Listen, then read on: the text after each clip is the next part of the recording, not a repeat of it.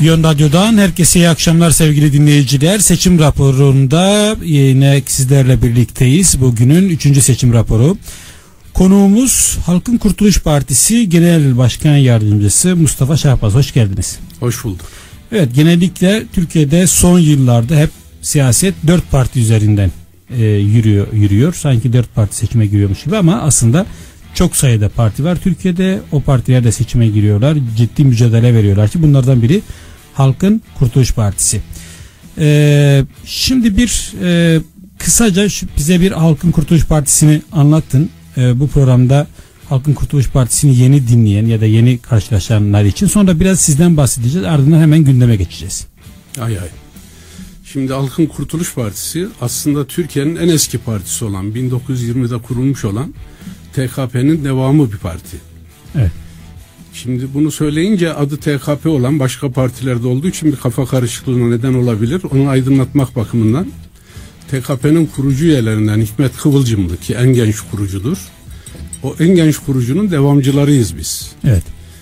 Yani 1954'te Vatan Partisi biçimini alan, 57'de kapanan, 1967'de Sosyalist gazetesiyle yeniden sosyalist ortama Evet. çıkan 1970'te 70'te tekrar Sosyalist gazetesiyle devam eden Hikmet Kıvılcımlı'nın 71'de vefatından sonra da ondan devraldığımız bayrakla biz önce Devrimci Derleniş dergisi gazetesini çıkardık. O yani çıkardık derken bir siyasi Evet. grup olduk. Adımız devren, devrimci derlenişti çünkü biz devrimci derlenişi ustamızın anarşok büyük derleniş broşüründe dile getirdiği gibi tüm devrimci grupların bir araya gelip birleşik bir parti kurmalarını savunuyoruz. Hala da savunuyoruz. Onu ileride açarım. Evet. Ee, sonrasında da 1989'dan başlayarak Devrimci Mücadele Dergisi çevresinde örgütlenen bir harekettik. Biz hep grupların bir araya gelip partiyi öyle oluşturmalarını, işçi sınıfı partisini öyle oluşturmalarını arzu ettiğimiz için bir grup partisi olmaktan hep kaçındık. Ama sonradan gördük ki bu kaçınmak giderek aleyhimize işliyor. Başkaları partileşip parti havadanlığını kullanırken bizim bir dergi çevresi gibi kalmamız aleyhimize işlediği gibi halkımızın da aleyhine işliyor. Çünkü biz sesimizi yeterince duyuramıyoruz, yeterince örgütlenme yapamıyoruz. Bu hem bizim aleyhimize olduğu kadar halkımızın da aleyhine olacağı için 2005 yılında bir grup partisi de olsa parti formatına geçmek ihtiyacı duyduk. Kuruluşumuz 1920 olmakla birlikte iki, üçüncü kuruluşumuz diyelim bin- 2005 yılıdır. 2005 15 Haziran 15-16 Haziran'ın yıl dönümünde şanlı işçi direnişinin 15-16 Haziran 1970'teki şanlı işçi direnişinin yıl dönümünde kurduk partimizi. Peki. Şimdi e, Hikmet Kıvılcımlı e, Türkiye Komünist Partisi'nin kurucularından sonra da Vatan Partisi'nin kurucusu. Ama şimdi Evet. hem Türkiye Komünist Partisi hem de Vatan Partisi adıyla partiler var. Siz bu parti isimlerini neden tercih etmediniz? İsim hakkı nedeniyle mi yoksa başka bir nedenle mi? İsim hakkıyla hiç ilgisi yok. Evet. Ee, biz ustamız, ustamız diyoruz Hikmet Evet. Kıvılcımlı'ya gerçekten ustamızdır. Gene zamanımızın el verdiği oranda e, o yönde sorularınız olursa onları da açarız. Ustamız 1960'lı yıllarda ölümüne kadar halk kurtuluş cephesini kurmayı önerdi. Yani devrimci grupların bir araya gelerek Halk Kurtuluş Partisi'ni kurmaları, onun etrafında da Halk Kurtuluş Cephesi'ni örmeleri gerektiğini savundu. Yani bir anlamda 1960'ların şartlarına uyarladı. E, Dolayısıyla biz de aynı ismi sırf ustamız öyle söylediği için değil günümüz şartlarına, günümüzün e, halk tarafından günümüzde daha iyi anlaşılabilmek için bu ismi tercih ettik. Evet. Peki Mustafa Şahbaz olarak sizi kısaca tanıyalım. Ardından gündemle ilgili sorularımıza ve Ee, partinizle ilgili sorulara geçelim. Yani kısa başlıklarla Evet. şudur. 1948'de Konya'da doğdum. Ee, ilk orta ve lise öğrenimi Konya'da yaptım. Üniversite eğitimini Ankara'da, Ankara Üniversitesi Tıp Fakültesi'nde yaptım. Daha sonra radyoloji ihtisası yaptım. İşte biraz Ankara'da çalıştıktan sonra Bakırköy Ruh ve Sinir Hastalıkları Hastanesi'nde 1988'den 2007 yılına kadar uzman olarak çalıştım. O yılda emekli oldum. Partinin genel başkan yardımcısı olarak şimdi mücadelemize devam ediyorum. Evet. Şimdi e, o zaman e, Türkiye gündemi yoğun. Bir Ankara katliamı var. 1 Kasım seçimleri var. O sorulara geçmeden ben partinizin ideolojisiyle, düşüncesiyle ilgili e, bazı sorular sormak istiyorum ki o sorulara yanıt verdiğinizde daha iyi anlaşılabilsin. Evet. Bunlardan biri e, siz kendinizi nasıl tanımlıyorsunuz? Komünist bir parti mi, e, sol bir parti mi ya da solun Türkiye'de çeşitli renkleri var. İşte ulusalcı diyen var, diğer şekilde tanımlayanlar var. Siz kendinizi nasıl tanımlıyorsunuz? Şimdi kirletilmiş kavramları bir tarafa bırakırsak en kestirmeden adımız bizi anlatıyor. Evet. Halkın Kurtuluş Partisiyiz biz. Bizim amacımız birinci Kuvayi Milliye'de, birinci Kurtuluş Savaşımızda kazandığımız bağımsızlığı ne yazık ki ondan sonra gelen 1900 özellikle 50'den sonra gelen para babalar hükümetleri Amerikancılık yapacağız diye bağımsızlığımızı Amerika'ya emanet ettiler. Daha doğrusu bağımlı hale getirdiler. Üstleriyle, her türlü yatırımlarıyla. Biz bu bağımlılıktan yeniden ikinci bir kurtuluş savaşıyla çıkmamız gerektiğini, bağımsızlığımızı yeniden ilan etmemiz gerektiğini düşünüyoruz. O yüzden adımız Halkın Kurtuluş Partisi yani bu kadar netiz. Evet. Şimdi Halkın Kurtuluş Partisi deyince de işçi sınıfı öncülüğünde emekçi halklar, halkımızın yani köylümüzün, esnafımızın, küçük üretmenimizin emeğiyle geçinen herkesin ya tabii kamu çalışanlarımızın partisi olmak iddiasındayız. Çünkü işçi sınıfının öncülüğüyle birlikte halkın tümünü bir cephede birleştirmediğimiz sürece, halk kurtuluş cephesinde bir araya getirmediğimiz sürece herhangi bir başarı kazanmamız mümkün değil. Evet. Yalnız işçi sınıfıyla sadece işçi sınıfının çıkarlarını savunabiliriz. Oysa biz tüm halkın çıkarlarını ki işçi sınıfının çıkarlarından hiçbir şekilde bağımsız değildir bunlar. Öbürü işçi sınıfı körlüğü olur. Sadece işçi sınıfı çıkarlarına saplanmak ki sendikalizmdir bunun adı. Biz bundan kesinlikle sakınıyoruz. Biz tüm Türkiye halkının kurtuluşu için mücadele veren Özdeyiş'le Halkın Kurtuluş Partisiyiz. Evet. Şimdi bizi dinleyen gençlere biz bir tavsiyede bulunalım. Ee, girin internete Hikmet Kıvılcımlı e, ismini yazın. Kimdir? Neyi savunmuştur? öğrenin. E, hakikaten e, bambaşka bir kimlikle karşılaşacaksınız. O yüzden evet. biz şimdi Hikmet Kıvılcımlı'yı anlatmak tabii bu kısa süre içerisinde e, mümkün değil ama ben size şunu söyleyeyim. Hikmet Kıvılcımlı'yı ayıran yani mesela size şöyle diyorlar dışarıda konuştuğumuzda işte onlar kıvılcımcı diyorlar. Yani sizi kıvılcımcı yapan Hikmet Kıvılcımlı'yı ayıran özellikleri nedir? Düşüncesini, ideolojisini. Yani esprili bir şekilde söyleyelim. Evet. Kara kaşı kara gözü değil tabii. Evet. Yani onun 1920'lerden başlayarak hatta daha öncesinden başlayarak biliyorsunuzdur belki 17 yaşındayken Kuvayi Milliye Savaşı'na katılır. Birinci Kurtuluş Savaşı'nda yer alır. Henüz 17 yaşında bıyıkları bile terlememiş bir genç iken o mücadelede işte önce Yörük Ali Çetesi'nde yer alır. Daha sonra Köyceğiz Kuvayi Milliye Komutanlığı'na tayin edilir. Oradan başlayan bir mücadelesi, antemperyalist bir mücadelesi var. Bu antemperyalist mücadelenin sadece antemperyalizm kanadının yetmediğini, sosyalizmle taçlanması gerektiği bilincine vardıktan sonra da sosyalist olur kendisi. Gene kendisinin deyimiyle insanın hayvan yerine konulduğum için sosyalist oldum der. Ondan sonra sosyalist teori ve pratik onun bir yaşam biçimi olur. Ömrünün hiçbir dakikasını bu mücadelenin dışında düşünemez. Evet. Ee, dolayısıyla TKP'nin 1920'de kurulan TKP'nin en genç kurucu üyesidir. Gençlik kolları başkanıdır. Oradan başlayarak sürekli teorik ve pratik olarak Türkiye nasıl kurtulur? Türkiye'de sosyalist bir iktidar nasıl kurulara kafa yorar? Bunun teorisini kuran TKP'deki birincil adamdır. Tek adamdır hatta bize göre. Çünkü diğerlerini elbette takdir ediyoruz. Şefik Hüsnü Değmer'dir, Reşat Fuat Baraner'dir. Bunların elbet büyük emekleri var. Ama işin teorisini e, Türkiye'nin teorik çözümlemesini yapan kişi Hikmet Kıvılcımlı'dır. Gene kendi deyişiyle kısaca özetçe söyleyeyim ki anlaşılsın. Bugünkü Türkiye'yi anlamak için der, dünkü Türkiye'yi, Türkiye, daha, dünkü Osmanlı'yı içinden bir türlü çıkamadığımız Osmanlı'yı anlamak gerekti. Osmanlı incelemeye giriştiğimizde de onun İslam ve Bizans medeniyetleri üzerine bir Rönesans olduğunu gördük. O zaman tüm tarihi incelemek, o antika tarihi incelemek gerekti der. Oradan medeniyetler nereden doğdu geldi? Bu medeniyetler nasıl oldu? Sınıfsız toplumdan sınıflı topluma nasıl atlandı? Onun kanunlarını bulur. Tarihçil devrim der bununla ya da tarihsel evet. devrim. İki türlü tarihsel devrim tayin, tarif eder. Bunlara burada şimdi girmeyelim. Dolayısıyla bu işin teorisini kurar. Türkiye'nin sınıf yapısını tamamıyla e, ne diyelim deşifre eder, ortaya koyar, serer. Yani en sıradan insanın bile kolayca anlayacağı şekilde sınıf ilişki çelişkilerini ortaya koyar ve devrim stratejisi çizer. Bunun için TKP'nin 10. yılında sunduğu yol, e, yol dizisi vardır. Toplam 7 kitaptan yanlış hatırlamıyorsam oluşur. Orada işte işçi sınıfını köylülüğü mesela isimleri de ilginçtir. Yedek güç diye evet. milli meseleyi Kürt meselesini koyar ki sene 1933'tür. Müttefik köylü der. Köylü işçi sınıfının müttefikidir. Düşman burjuvazi der. Bu isimlerle araştırıp sonuca bağlamıştır. Yani Türkiye'nin bütün sınıf ilişki çelişkilerini gözümüzün önüne böyle en kolayca anlayacağımız şekilde sermiştir. Evet. O bakımdan biz Hikmet Kıvılcımlı'nın takipçileriyiz. Hikmet Kıvılcımlı bu kadar cümleyle anlatılabilir mi? Çok daha söz vardır anlatılabilecek. Dediğim gibi e, evet. özellikle genç kesim artık daha kolay ulaşılabilir bilgiye. Oradan sağlıklı bilgiye ulaşabilir. Yalnız, evet. bir yönünü söylemeden geçmeyelim. E, Hikmet Kıvılcım'ın bir diğer özelliği 22,5 yıl hapishanelerde yatmıştır. Evet. Ama hiçbir şekilde yılmamıştır.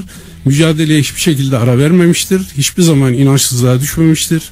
Hiçbir zaman mücadeleden vazgeçmemiştir. Burada bir anekdotu e, müsaadenizle söyleyeyim. Bir arkadaşımızın Kerim Korcan'la konuşmasında geçmiş bir anekdottur bu. Kerim Korcan işte Hikmet Kıvılcım'ın son hapishaneden çıkışı 1957 tutuklamasından sonra 60'ta çıkar. Buluştuk diyor. İşte bir yere kadar yürüdük. Biraz dinlenelim dedi diyor. Bir ara verelim dedi diyor. Ben de eyvah dedim. Hikmet Kıvılcımlı da mı artık mücadeleye ara verecek? Mücadeleden vazgeçti acaba? O da mı yılgınlığa evet. düştü artık bırakıyor mücadeleyi diye. Oturduk bir çay içtik diyor çay bahçesinde. Bu kadar mola yeter hadi mücadeleye devam dedi diyor. Evet. Hikmet Kıvılcımlı böyle bir kişilik. Artı o 22 buçuk yıllık cezaevine her girişinde e, birinci şubenin en ağır işkencelerinden geçtiği halde ağzından tek bir kelime anlamayan tek adamdır. Tek bir yoldaşını ele vermemiştir ve bunu kendisi der ki poliste direnmeyi en büyük erdem bildim der. Evet. Bize vasiyeti de budur. Biz de elimizden geldiğince kadar bu vasiyetin devamcılarıyız. Peki. Bu yönünü de kabartılandırmak istedim. Şimdi daha popüler bazı konular Tabii. üzerinden ben sizin Tabii. farkınızı e, anlatmak için soruyorum. Şimdi Türkiye sol kesiminde bir Kemalizme bakış vardı. Mesela bugün Altok programını benimseyen bunun tamamlanması gerektiğini söyleyen partiler var. Ya da m, Cumhuriyet Halk Partisi gibi Atatürk'ün kurduğu ama daha bugünümüzde farklı noktada olan partiler var. Ya da tamamen Kemalizmle arasına e, mesafe koyanlar var. Siz daha çok Kuvayi Milliye'den bahsediyorsunuz. Evet. Bunu biraz anlatır mısınız bize bu farkı? Şimdi günümüz Türkçesiyle söylediğimiz zaman Kurtuluş Savaşı Hı. ama e, yeni nesillere eski deyimini de hatırlatalım. Kuvayi Milliye. Evet. Bizim yedi düvele karşı, emperyalistlere karşı verdiğimiz büyük mücadeledir o işte 1919'dan 23'e kadar devam eden ve Cumhuriyet'in kurulmasıyla taçlanan bir mücadele bu. Bu Mustafa Kemal'in kendi deyişiyle bile kapitalizme ve emperyalizme karşı verilmiş büyük bir mücadeledir ve zaferle sonuçlanmıştır. Dünyada zaferle sonuçlanan ilk kurtuluş mücadelesidir. Bu bakımdan da dünyanın dört bucağında örnek alınmış, ondan onun ışığından yararlanmış dünya kadar kitleler, uluslar var. Şimdi biz bu toprağın insanı olarak bunu görmezsek, bu mücadeleyi takdir etmezsek biz devrimci falan olamayız. Yani devrimci dediğin kendi toprağını, kendi insanını, kendi tarihini öncelikle bilecek. Onun olumlu yönlerini alacak, olumsuz yönlerinden arındırılacak. Böyle yapmadığımız zaman turist devrimciler oluruz. Türkiye'yi bilmeyen uyur gezerler oluruz. Dolayısıyla böyle bir biz çok şanlı bir kurtuluş savaşı vermiş bir halkız, halklarız hatta birlikte. Evet. Kürt ve Türk halkı birlikte verdi bu mücadeleyi. Bu mücadelenin biz mirasçılarıyız. Ama bunu burada bırakmak mümkün değil. Burada kaldığı zaman ki e, Cumhuriyet devrimlerinin de açmazı buradadır. Burada kalıp toplumsal kurtuluşla taçlanmadığı için yani sömürüyü ortadan kaldırmadığı için zıttına dönüşmüştür zaman içinde. Peki siz bu süreci kimilerin dediği gibi 1946 ya da 50'den sonra e, karşı devrim olarak mı görüyorsunuz yoksa Kurtuluş Savaşı'ndan sonra 1930'lu yılları e, daha erken yılları da mı? Daha e, erken yılları da kapsıyor. Evet. Yani İş Bankası'nın kurulmasıyla 1924'te başlayan süreç e, Cemal Celal Bayar'ın e, o zamanki adıyla iktisat vekilliğine, bugünkü adıyla ekonomi bakanlığına getirilmesiyle ve ardından başbakan yapılmasıyla e, para babalarının emperyalizmin adım adım adım adım mevziler kazanarak iktidara taşınması. O yüzden biz ta 1940'lara kadar çıkartmıyoruz. Daha erken başlayan bir süreç. Ama 1946 ile birlikte 2. Dünya Savaşı'nın bitiminden sonra Amerika'dan yana tercih koyması ki o zaman İnönü Cumhurbaşkanı CHP evet. iktidar artık dümen Sovyetlerden tamamen kopuşup Amerika'nın uydusu haline gelmemizle birlikte karşı devrim süreci hızlanarak devam etmiştir. 1950 ile birlikte artık zaten zıvanadan çıkmıştır. Şöyle ki bir örnek vermeden geçmeyelim bunu. Menderes Dışişleri Bakanlığı'na tayin edeceği kişiyi Ankara şey, Ankara'daki Amerikan Büyükelçiliği kanalıyla Beyaz Saray'a soruyor. Evet. Şimdi bağımsızlık mücadelesi vermiş, cumhuriyeti kurmuş. O Mustafa Kemal'in mirası cumhuriyetin geldiği böyle bir durum var. Yani bu hale getiriyorlar. O bakımdan biz diyoruz ki ekmek su kadar şimdi lazım olan şey ikinci bir kurtuluş savaşıdır. Ama bu ikinci kurtuluş savaşımızın farkı nedir? Toplumsal kurtuluşla taşlandırılması gerekir. Yani sömürüyü de ortadan kaldırmamız gerekir. Yerli yabancı para babalarının bütün hakimiyetini sıfırlamamız, ortadan kaldırmamız, yok etmemiz gerekir. Evet. Ee, şimdi sizi e, Ergenekon sürecinde çok aktif gördük. Ee, hem alanlarda hem Silivri'de. Ee, ama Ergenekon sürecinde çok aktif olan hatta birçok üyesi içeride olan dönemin işçi partisi, şimdiki Vatan Partisi de vardı ya da diğer kesimlerde var. Siz Ergenekon süreci nasıl gördünüz? Nasıl değerlendirdiniz? Siz de bir kumpas, bir tertip olarak mı gördünüz? Şimdi biz Ergenekon davası daha ilk başladığında bunun bir siyah operasyon evet. olduğunu netçe gördük ve gösterdik halkımıza. Eylemlerimizle de bizzat gene halkın görebileceği şekilde tepkimizi e, ortaya koyduk. Silivri eylemlerinde evet. olsun, diğer e, eylemlerimizde bunu en net şekilde anlattığımız bir tarafa bu konuda kocaman da bir kitap yayınladık. Evet. E, Genel Başkanımız Nurullah Ankut imzalı. E, Ergenekon bir şey operasyonudur kitabı da getirdim aslında ama şu anda başlığını tam hatırlayamam belki. Yani biz bunu netçe gördük ve gösterdik. Yani adını da çok anmak istemiyorum. O zamanki İP İşçi Partisi evet. başlangıçta taraftardı. O taraftarken bile biz karşıydık. Yani Ergenekon davaları iyi davalardır demeye gelen özetçe öyle egzajere edeceğim bir tavır içindeyken biz bunun bir siyah oyun olduğunu e, 1991'de sosyalist bloğun çökmesinden sonra NATO'nun yeni bir yapıya doğru gittiğini hatta yani Türkiye Türk ordusunun artık NATO içinde durmasının bir anlamının kalmadığı bir durumda e, ordudaki uyanışı bertaraf etmek için özellikle ordu gençliğinin devrimci geleneğini ortadan kaldırmak için e, yani ona da gireriz evet. belki biz ordu gençliğinin bir devrimci geleneğinin olduğunu tarihsel süreçte e, görüyor ve gösteriyoruz. Yani bu bizim teorik olarak uydurduğumuz bir şey değil. Somut tarihsel olaylar, olaylar olarak görüyoruz. Ordu gençliğindeki bu uyanışı yani biz NATO'da ne yapıyoruz? Amerika'nın niye oyuncağıyız? Amerika bizimle oynar gibi e, şeyle oynar gibi oynuyor. Bundan vazgeçmemiz gerekir denen uyanışı durdurmak için bulduğu bir yöntem. Evet. Bunun için kimi kullandı? AKP'yi kullandı, Fethullah'ı kullandı, e, MİT'i kullandı gerekli kumpaslar empaslar yapıldı.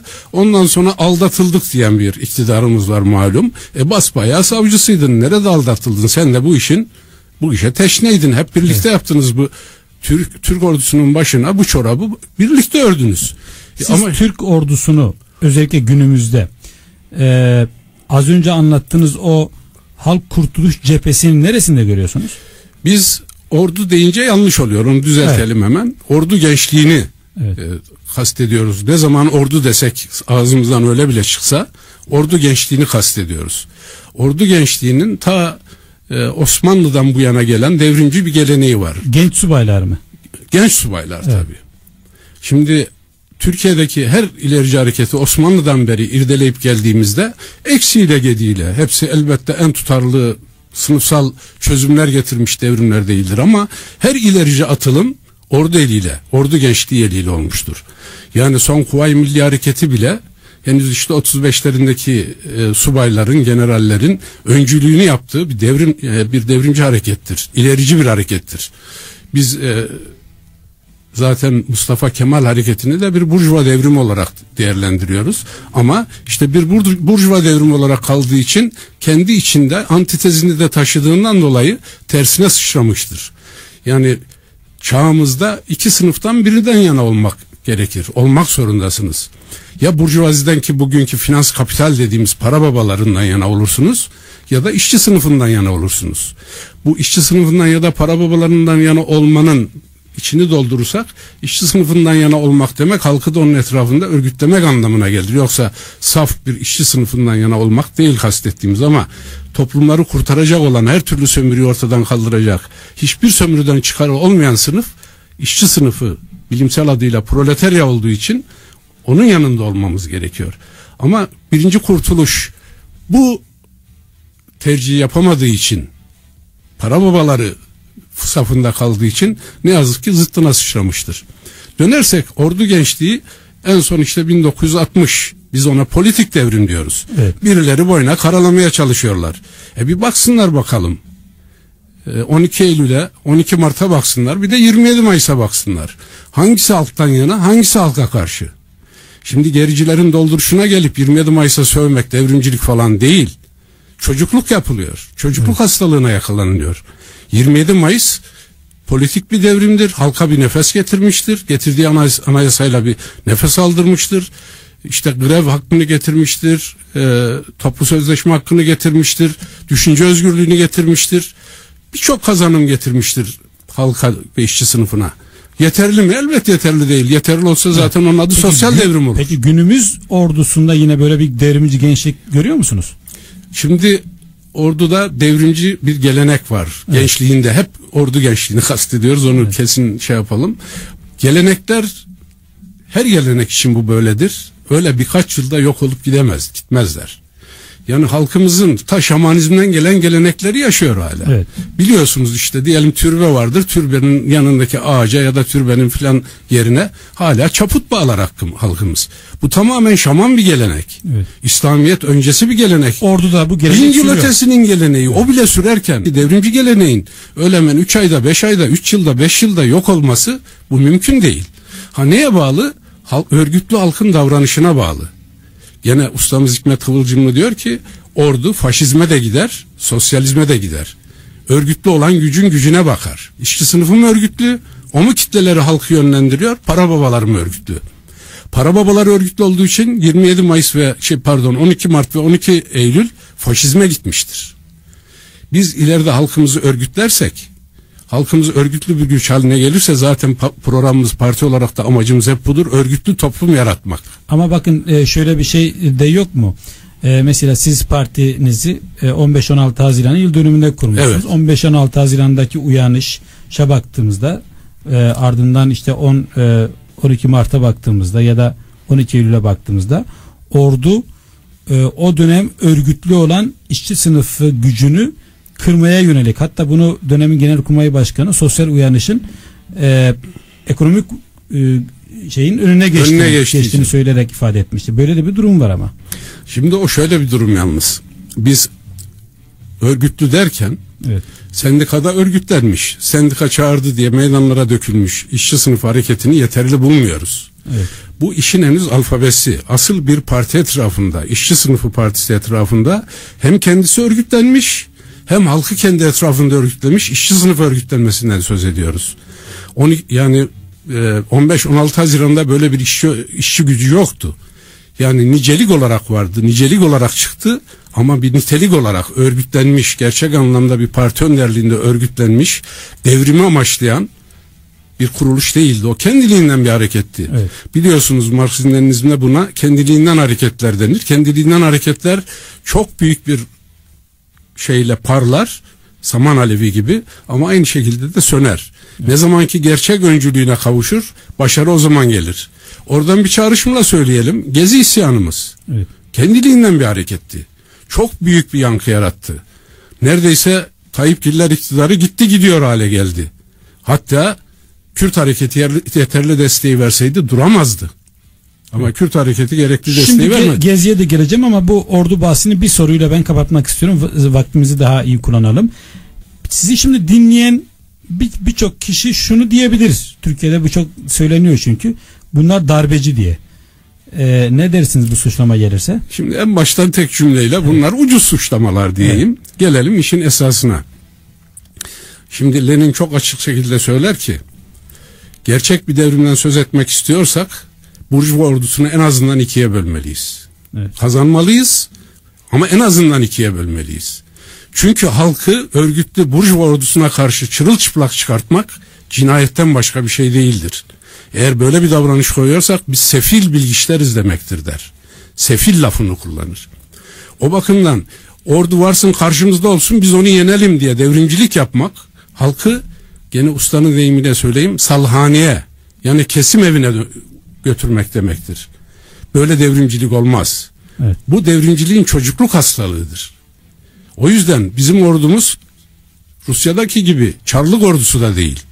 Türkiye'nin her devrimci davranışında belli bir görev yüklenmiş bir ordu gençliğimiz var. Bu gençliği biz halk olarak örgütlediğimiz halkla birlikte kazanmak durumundayız. Kendi yanımıza çekmek durumundayız. Çünkü silah gücü orada. Silahsız halka o silahlı gücün karşımızda olsun bizi öldürsün şeklinde bir davranış koymak devrimcilikle ilgisi olmayan bir şeydir. Evet. Şimdi e, 20 dakikamız var. Daha e, çok soruyla daha hızlı gidelim isterseniz. E, 1920'deki TKP'nin ya devamı ya da bir şekilde o gelenekten gelen günümüzde diyelim ki Şefik Hüsnü e, açısından baktığımızda ya da bugünkü TKP açısından baktığımızda siz bugünkü Komünist Partisi ve bugünkü Vatan Partisi ile zaman zaman m, m, aynı söylemde e, olduğunuz noktalar var. Mesela Kuvayi Milliye konusundaki işte Silivri'de bulunmanız falan. E, ana başlıklarıyla bugünkü Vatan Partisi'nden ve bugünkü Komünist Parti ile farkınız ana başlıklarda nedir? Ha, şimdi Vatan Partisi'nden demin de söz etmekten pek haz etmiyorum. Evet. Biz onlara bin kalıplılar diyoruz. Evet. Yani kaç kalıptan gir, bu yana geldiklerini hepimiz herhalde biliyoruz. Yaşımız yetiyorsa biliriz yani. Evet. Genç nesil için bir şey demeyeceğim. Yaşı yetmeyenler için. Yani en son geldikleri yer saray savaşı değil vatan savaşı. Yani bunun neresini tutup eleştirelim şimdi? Bundan ne, ne diyelim nasıl söz edelim yani? Ee, Yani en kör göze bile batıyor ki Tayyip Erdoğan kendi iktidarını sürdürebilmek, yeniden tek başına iktidar olmak için bu savaşı başlattı. Şimdi buna vatan savaşı demek. Ne kadar hangi akla sığıyor? Ama şöyle bir şey de söyleniyor. Ee, Amerika e, PKK ile ya da PYD ile görüşüyor. Hatta işte en son e, PYD'ye silah e, verdi. Dolayısıyla orada Amerika'nın e, olduğu bir PKK ve PYD var. Onlar da Türkiye'ye saldırıyor. Türk ordusu da bu emperyalizmin bu saldırısına karşı direniyor. Şimdi çok önemli bir noktaya geldik. Evet. Yani Vatan Partisi'ni falan bir kenara bırakalım. Evet. Türkiye şimdi 1 Kasım'da seçime gidiyor. Evet. Ama seçim meçim hikaye. Türkiye bölünmeye gidiyor. Amerika iki taraflı hem Tayyip Gillere hem de PKK tarafına yani elinizi tetiğe uzatın dedi. Ne yazık ki. Şimdi bir taraftan Kürt gençleri bir taraftan Türk gençleri kıyma vuruyor. Türkiye halkları Kürtler ve Türkler tarihte hiç olmadığı kadar birbirlerine düşmanlaştırılıyor. Türkiye Suriyeleşiyor. Siz her iki tarafında Amerikan tarafında Aynen, ö- düşünüyorsunuz. aynen öyle düşünüyoruz. Peki bu bağlamda sizce bu Ankara katliamının arkasında kim var? Şimdi Ankara katliamının arkasında IŞİD'in olduğu zaten meydana çıktı yani o besbelli. E, IŞİD'in arkasında da en büyük ağa babası ABD bunu kurdu getirdi El-Kaide hesabı onu var eden Amerika'nın Suriye'ye müdahalesi. Bunun da en büyük destekçisi kimdi? İşte Türkiye'ydi, Tayyipgillerdi yani. Suudi Arabistan'dı, Katar'dı. E şimdi bunu kimin yarattığı besbelli yani. E bu cinayet örgütü şimdi Amerika'nın elinde çok muazzam bir koz olarak kullanılır oldu. Hangi ülkede ne yapmak istiyorsa işit korkuluyla korkutarak istediğini yapıyor. Ama Amerika bir yandan da IŞİD'e karşı savaşsın diye PYD'ye silah veriyor. E Şimdi işte bu tavşana kaç, tazıya tut politikası. Emperyalizm her türlü oynar. Emperyalizm şuraya gelelim. BOP diye bir haritası var değil mi? Bir projesi var. Büyük Orta Doğu ve Kuzey Afrika projesi. Bu proje hayata geçirildiğinde ne olacak? Orta Doğu'daki 22 ülkenin sınırları değişecek. Yeni bir harita çıkacak ortaya. Peki buradan Türkiye nasibini nasıl alacak? Üçe bölünerek alacak. Harita net. Suriye üçe bölünecek. Hatta beş bile var. Ee, işte e, Irak bölünecekti. Bölündü. Libya bölünecekti. Bölünmeyi bırakın Libya paramparça şimdi. Her aşiret bir devlet. Evet. Şimdi Amerika'nın eskiden beri var olan bir stratejisi var. Bin devletli bir dünya yaratmak. Yani site devletlerine indirmek hatta. Böylece kendisine hiç rakip olamayacak, sadece pazar olacak, sömürü alanı olacak bin tane devlet arzu ediyor. Bunu hayata geçiriyor. Orta Doğu'da bunun adı BOP. Evet. E, Türkiye'de de şimdi Kürt ve Türk halkları birbirine düşman hale getirilince olacak iş nedir? Peki siz Kürt sorunun, çözüm, Kürt sorunun çözümünü nasıl görüyorsunuz? Biz Kürt sorununun sorununun devrimci yoldan çözülmesi gerektiğini yani ne yazık ki biz sol olarak yeterince güçlü bir örgütlenme yaratamadığımız için e, Kürt hareketi içinde de bize yakın güçlü bir sol hareket olmadığı için devrimci çözümü hayata geçiremiyoruz. Devrimci Biz iki halkın mesela ana dilde eğitim her şey özellik talebi. her şey her şey yani bir halkın ne hakları varsa tamamı eksiksiz tamamı iki arkada iki halkın tam kardeşçe eşitçe hiçbir ayrım gözetilmeksizin hiçbir ayrıcalık olmaksızın birlikte yaşamaları. Bizim arzumuz budur. Bizim ayrıca Marksist diyoruz. Ulusların kaderlerini tayin hakkını sonuna kadar savunuyoruz. Ama biz komünistler olarak, sosyalistler olarak halkların birliğini savunuruz. Evet. Halkların birliğini ama ayrılma hakkı dahil o, o halkın kendi kaderini tayin etme hakkını da tanırız. Burada bir çelişki var gibi görünür ama bu halkları birbirine yaklaştırır. Ezilen halkın ise devrimcileri gene birlikten yana tavır koyarlar. Halklar eğer kendi iradeleriyle ayrı devlet, ayrı olmak istiyorlarsa, ayrılmak istiyorlarsa buna da sonsuz saygı gösterilir. Evet. Ama asıl olan halkların bölünüp parçalanması değil, bir arada yaşamalarıdır. Bin yıllık kardeşliğimizin genişletilerek devam ettirilmesidir. Çünkü zayıf devletler emperyalizm için yutulacak lokmadır. Bakın Yugoslavya'ya tahammül edemediler. Yugoslavya şu anda yedi parça, Yedi parçanın yedisinden de hiçbir şey çıkmaz. Peki siz e, bu çerçevede HDP'ye nasıl bakıyorsunuz? HDP Kürtlerin haklarını savunan bir parti gibi midir sizce? Şimdi yani HDP olsun, PKK olsun, PYD olsun ne yazık ki e, Amerika'nın dümen suyuna girdiler. Yani sosyalist kampın yıkılışından sonra orada bir güç göremeyince güç olarak Amerika tarafında yer alır oldular. Bunu açıkça da beyan ediyorlar zaten. Suriye meselesinde biliyorsunuz yani rol talep ettik Amerika'dan diye gelip açıklama yaptılar yani. Aynı şekilde gerici örgütlerle 11 maddelik anlaşmalar imzaladılar. Yani oysa anti-emperyalist bir çizgide durabilselerdi, Beşar Esad'la bir cephe oluşturabilselerdi, bu gerici rüzgarı püskürtebilirlerdi, tüm dünya halklarına da bir nefes aldırtırlardı. Evet. Ama şimdi, olmadı ne yazık evet, ki. Hızlı hızlı gidiyoruz. Bunlardan biri. Şimdi e, 7 Haziran seçimlerinde Halkın Kurtuluş Partisi 60 bin oy aldı. Sizin medyadaki görünürünüz çok fazla değil. E, kamuoyunda hani e, tartışma açısından da hani sosyal medya olsun diğer medya olsun. O yüzden birçok kişi şaşırdı e, bu yüksek oy aldığınızı e, belirtti. Nasıl bu oy alabildiniz bir de şu, bu dönemde nasıl bir seçim çalışması yürütüyorsunuz? Şimdi e, ne yazık ki burjuva demokrasisi denen şey sandık demokrasisi. Evet. Ve demokrasiyle de bir ilgisi yok zaten. Çünkü hiçbir eşit savaşa girmeksizin gidip sandıkta e, boyunuzun ölçüsünü alıyorsunuz diyelim kaba deyimle. E, ama biz hiçbir şekilde bir parti çalışmasını seçime indirgemiyoruz. Hatta seçimler bizim için sadece halka sesimizi duyurmak için bir ne diyelim minare diyelim ya da bir alan evet. diyelim. Onun dışında bizim için büyük bir önem taşımıyor. O bakımdan yani seçimde şu oy almak bu oy almak hele hele şu geldiğimiz aşamada Türkiye böylesine bir handikapın içine Suriyeleşme e, handikapın içine girmişken bizim için hiç de önem taşımıyor. Ama partimiz hiç ara vermeksizin her gün her saat karınca sabrıyla çalışıyor. Devamlı çalışıyoruz. Eylemler yapıyoruz. Suç duyurularında bulunuyoruz.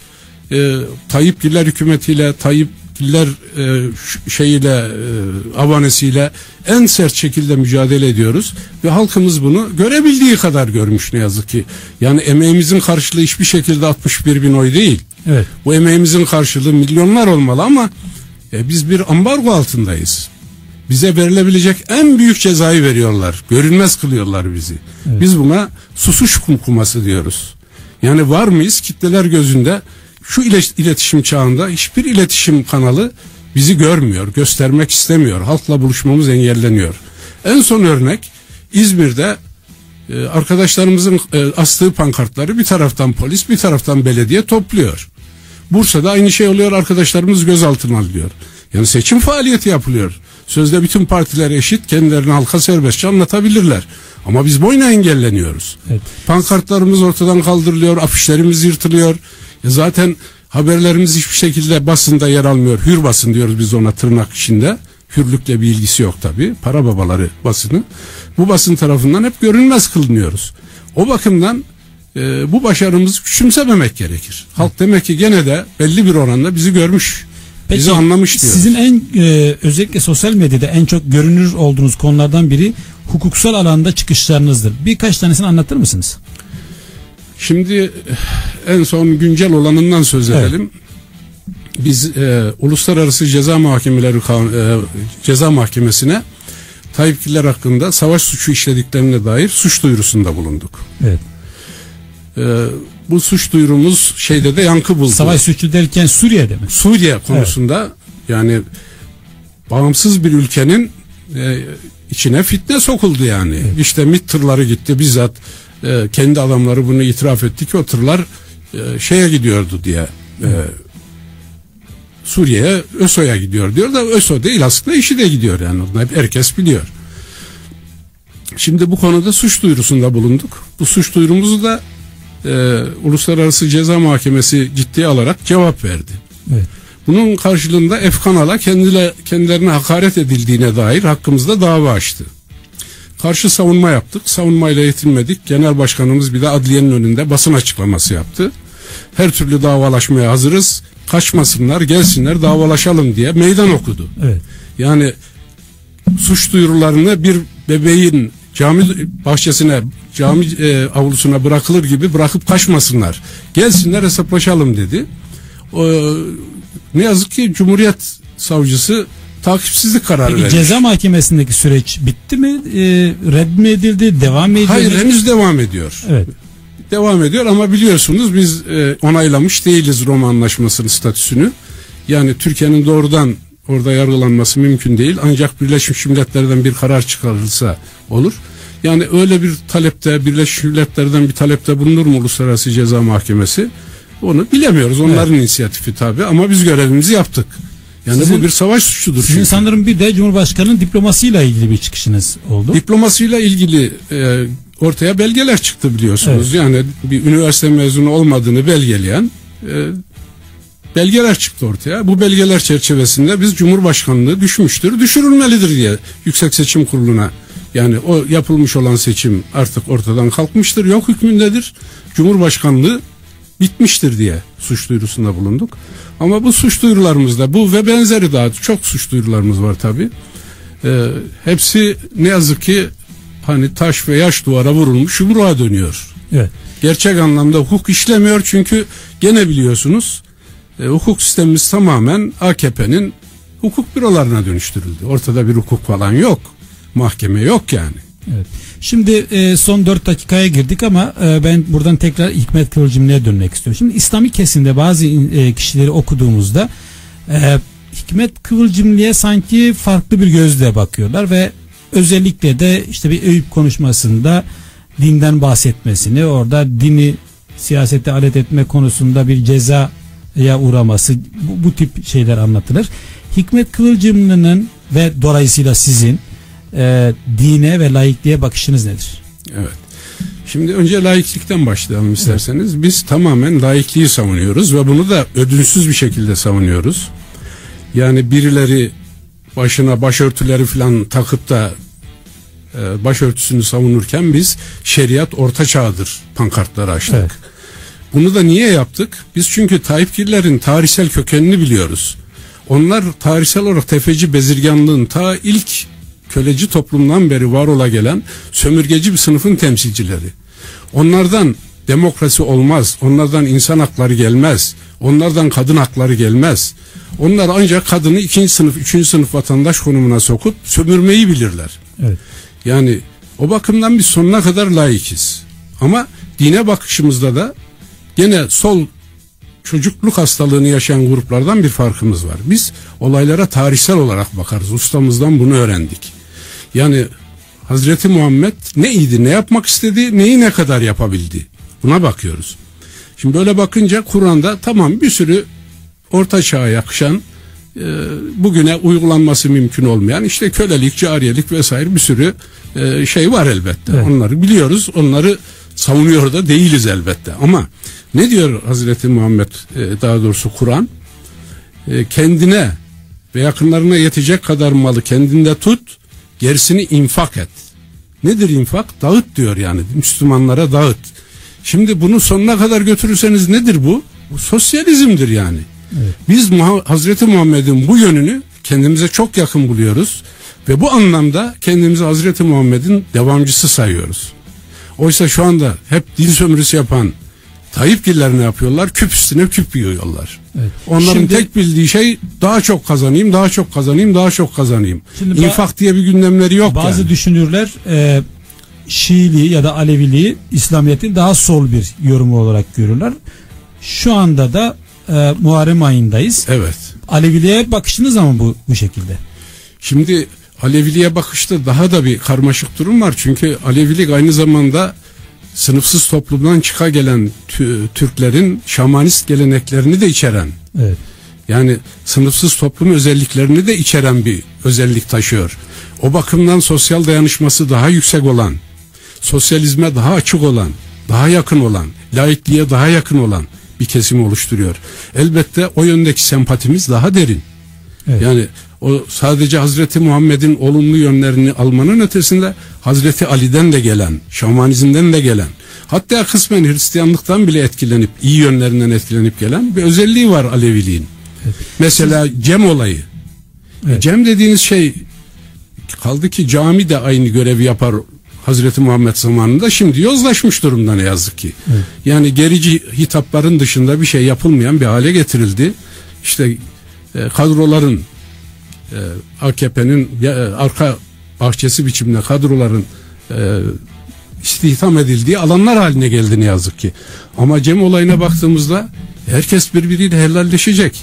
Hiç kimse kimseyle küs kalmayacak. Kimsenin kimseden hakkı ol, kalmayacak ki o ceme katılabilsin. E bundan hala bir yaklaşım, sosyal yaklaşım olabilir mi? Siz o zaman bu anti kapitalist Müslüman olarak görülen çevreleri de sanki kendinize daha yakın görüyor gibisiniz. Kendimize yakın demeyelim de evet. ama yani e, elbette düzene karşı olmak bakımından bir rezonansımız, bir yakınlığımız diyelim hadi gene. Evet. Elbette var. Peki. Şimdi e, radyo televizyon programları biraz böyle hızlı hızlı konu evet. başlıklarıyla gidiyor. Programın sonuna geldik. Sonunda ben size şunu sormak istiyorum. Bir, Halkın Kurtuluş Partisi'ni takip etmek, öğrenmek isteyenler nasıl takip edebilir? Yayınlarınız var mı? Nedir? E, gerek dijital alanda ya da basılı alanda. Önce bunu alalım sonra bir, daha, bir şey daha soracağım. Şimdi basılı alanda ayda bir yayınladığımız Halkın Kurtuluş Yolu diye bir gazetemiz var. Evet. Bunu aynı zamanda internet ortamında da koyuyoruz. Orada da bulunuyor. Bir de devr, e, derleniş yayınları diye yayın evimiz var. Evet. O yayın evi de ağırlıklı olarak Hikmet Kıvılcımlı'nın ve genel başkanımız Nurullah Ankut'un kitaplarını yayınlıyor. Evet. Yani onlar da gene internetten erişilebilir. Ee, hem talep edilebilir kitaplarımız hem de kitaplarımızı yani şu günlerde biraz şeyimiz e, sitemiz biraz evet. kullanışsız ama en yakın zamanda düzelecek. PDF'lerini koyacağız her kitabımızın. Çünkü evet. biz kar amaçlı kitap basmıyoruz. Evet. Biz istiyoruz ki halkımız okusun, Hikmet Kıvılcımlı'yı anlasın, bizi anlasın. Peki der, e, Hikmet Kıvılcımlı'yı daha yakından tanımak isteyen özellikle genç kesim e, bu derleniş yayınlarında Kıvılcımlı'nın tüm külliyatını bulabiliyor mu? Henüz tümünü yayınlayamadık. Çünkü evet. yüzü aşkın kitabı var ustamızın. Sanıyorum bir 30 küsura ulaşabildik. Hı hı. Ya da 40 belki. Yayınlarımız devam ediyor. En azından yaşamı ve kim olduğuna yönelik. Tabii tabii. Evet. Yani o, o bilgileri edinebilecekleri gibi temel eserlerini de ki en temel eseri tarih devrim sosyalizmdir. Evet. En başta sözünü ettiğim hani Osmanlı incelemesi, oradan antika toplumu incelemeye girmesi ve toplumların gelişim kanunlarını bulması Tarih Devrim Sosyalizm kitabında özet bir biçimde yani doyurucu bir şekilde konulmuştur. Yani Evet. o kitaptan Hikmet Kıvılcımlı'yı en kestirmeden öğrenebilirler.